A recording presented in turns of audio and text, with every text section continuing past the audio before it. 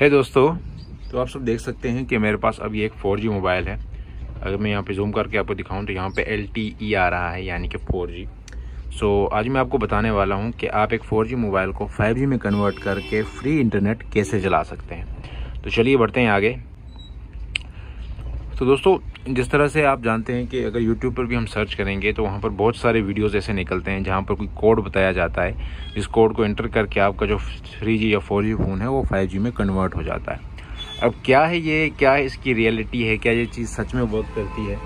तो चलिए स्टार्ट करते हैं। अभी सबसे पहले जो ट्रिक सबसे ज़्यादा वायरल हो रही है, जिसको बता रहे हैं कि जिसको आप करेंगे तो आपकी फ़ोन जो है वो फाइव में कन्वर्ट हो जाएगी। अभी लाइव प्रूफ देखने वाले हैं।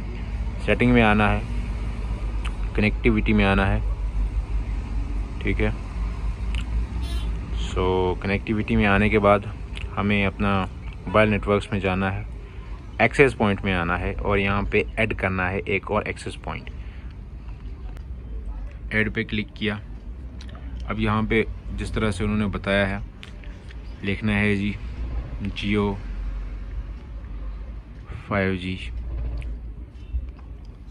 A P N W W W dot Jio five G internet dot com उसके बाद वापस आके इसको सेव कर लेना है। देखिए यहाँ से इंटरनेट चला गया है अभी। सो so, अभी जो टावर वगैरह है जितने भी कनेक्शन हैं वो सब कट हो गए हैं। अब इस सबको क्लियर करके हम प्लेन मोड ऑन करेंगे।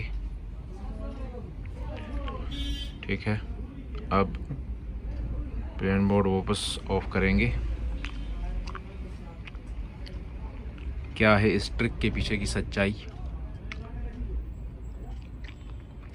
दोस्तों, अभी तक तो मेरा टावर भी वापस नहीं आया है। So moment of truth is ये बिल्कुल फेक है दोस्तों।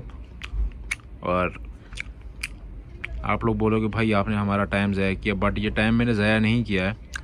I actually wanted to tell you कि इस तरह की ट्रिक्स कुछ नहीं होती हैं। आप लोग वहाँ पर अपना टाइम ज़ाया मत कीजिए। देखिए, आपका इंटरनेट भी चला जाएगा।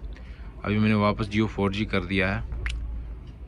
तो अभी मैं वापस जहाँ पर जैसा ही नेटवर्क्स को सर्च करूँगा, मेरे जो नेटवर्क हैं, वो आ जाएँगे।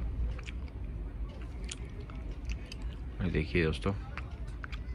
तो इस तरह की वीडियोज़ के ऊपर ध्यान मत दिया दीजिए। अगर आपको 5G फ़ोन लेना है तो दस हज़ार की रेंज में आपको सेकेंड हैंड 5G मिल जाएगा। आज तो फ़र्स्ट हैंड भी आते हैं दस हज़ार की रेंज में। आप ले सकते हैं। बाकी इस तरह की ट्रिक मत यूज़ कीजिएगा। हो सकता है आपका डाटा जो है वो भी लीक हो जाए।